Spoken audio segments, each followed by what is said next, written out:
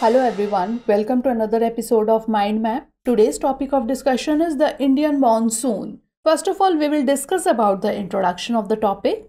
Then we will understand the mechanism, the onset and progression, the retreating monsoon, role in agriculture, variability and climate change, and lastly, floods and droughts. First of all, moving on to the introduction of the topic.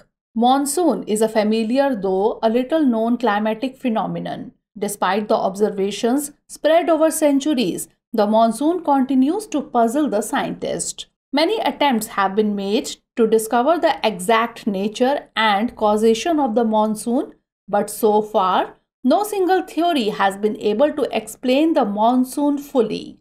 A real breakthrough has come recently when it was studied at the global rather than at regional level. Every year, this spectacular event unfolds, bringing life giving rains to the parched lands and shaping the destiny of millions. Now, understanding the mechanism of the monsoon, the Indian monsoon is primarily a result of the seasonal shift in wind patterns. As the sun beats down on the Indian subcontinent, the landmass heats up, creating a low pressure area. Cooler air from the Indian Ocean rushes in to fill this void laden with moisture. This warm, moisture rich air ascends, cools, and condenses, resulting in rainfall. The monsoon is a delicate dance between temperate gradients, wind patterns, and humidity. Now, moving on to its onset and progression. The monsoon doesn't arrive like clockwork. Its onset is eagerly anticipated and closely monitored. By early June, the low pressure condition over the northern plains intensifies. It attracts the trade winds of the southern hemisphere. They cross the equator and blow in a southwesterly direction, entering the Indian peninsula as the southwest monsoon. As these winds blow over warm oceans, they bring abundant moisture to the subcontinent. The inflow of the southwest monsoon into India brings about a total change in the weather. Early in the season, the windward side of the western Ghats receives very heavy rainfall, more than 250 centimeter. The Deccan Plateau and parts of Madhya Pradesh also receive some amount of rain in spite of lying in the rain shadow area. The maximum rainfall of this season is received in the northeastern part of the country.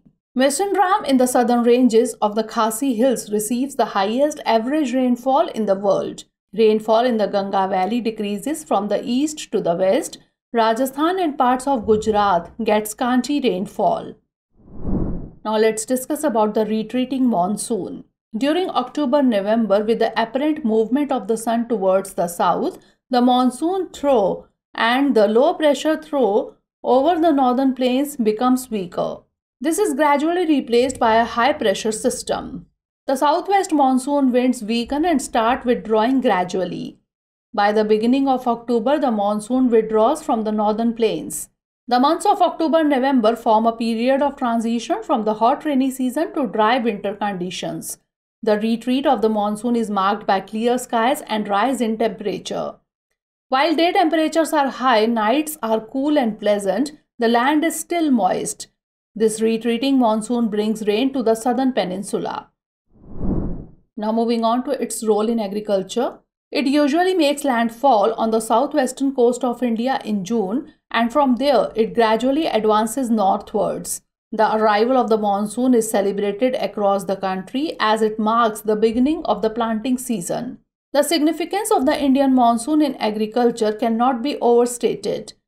Around 70% of India's annual rainfall occurs during this season, providing the lifeblood for crops. Farmers plan their planting and harvesting schedules around the monsoon, and the success of their crops hinges on timely and adequate rainfall. A good monsoon season can lead to bumper harvest, while a poor one can spell disaster. Now let's have a look at its variability and climate change. The Indian monsoon exhibits significant variations from one year to the next. Some years witnessed abundant rainfall resulting in floods, while others suffer from deficient monsoons leading to droughts. These fluctuations can impact agriculture, water resources, and the economy.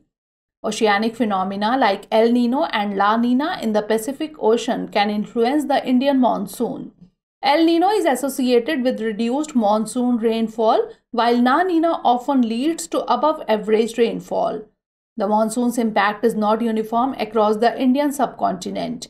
Different regions experience varying levels of rainfall. During the monsoon season, there can be temporary breaks or interruptions in the rainfall pattern.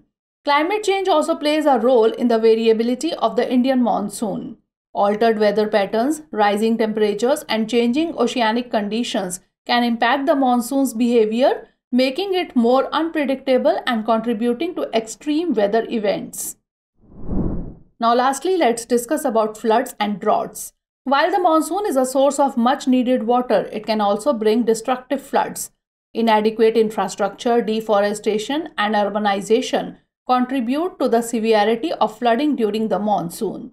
Effective water management, including the construction of dams, reservoirs, and flood control measures, is essential to minimize flood related damage and loss of life. Conversely, the Indian monsoon can also lead to droughts when it fails to deliver sufficient rainfall.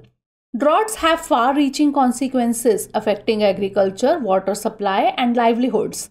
They can lead to water scarcity, food insecurity, and increased competition for limited resources.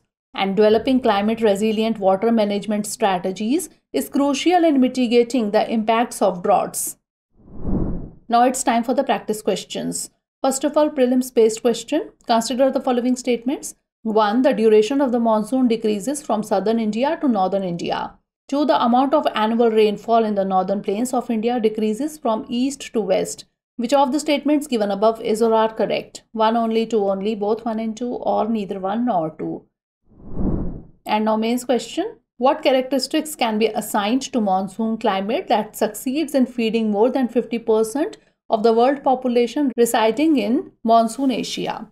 So that's all for today. Stay tuned for the next episode. Thanks for watching.